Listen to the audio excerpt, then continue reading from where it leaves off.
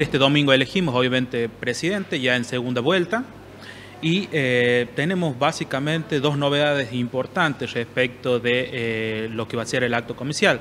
Como sabemos, hay dos fórmulas en disputa por la presidencia de nuestro país y eh, cuando vayamos al cuarto oscuro vamos a encontrar dos opciones solamente pero eh, tenemos que señalar que eh, eh, las boletas hicieron una, digamos, una reunión, los diferentes representantes de ambos partidos, y acordaron que las boletas de, que se utilizaron el 22 de octubre son válidas también para utilizarlas ahora este 19 de noviembre.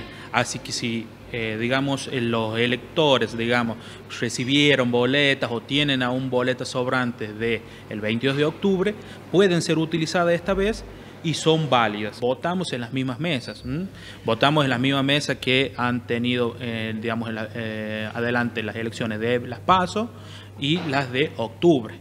Tenemos, digamos, las mismas mesas, las mismas escuelas, no hay cambio en las personas, digamos, la cantidad de personas que se han, eh, digamos, están desde agosto hasta la actualidad no ha cambiado. Si hay jóvenes que han cumplido desde 16 años, no van a estar dentro de estos padrones, ¿por qué? Porque las modificaciones eh, y actualizaciones en el padrón son las tenidas en cuenta hasta el 25 de abril. O sea, a partir de esa fecha ya el padrón, quedó fijo. digamos que las novedades que sucedieran desde esa fecha hasta la actualidad no están tenidas en cuenta, sino que van a salir en el próximo padrón de la legislativa de dentro de dos años.